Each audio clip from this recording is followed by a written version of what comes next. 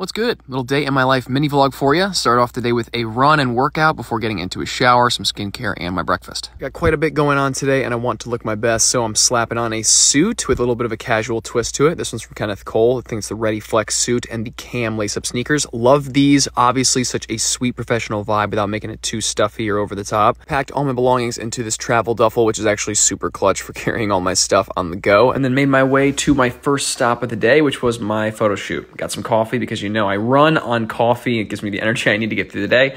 Made it to set and then got right to work before pausing for some lunch and then ultimately wrapping to get back out into that fall weather. Ugh, love the fall vibes. And in a suit, it just hits different. I mean, come on now. Grabbed a quick bite before meeting up with a friend and then headed to a hotel grand opening party. Again, this Kenneth Cole suit is literally just carrying me through the day and proof that you should just wear suits like this more often, especially in the fall. And that is the day. See ya.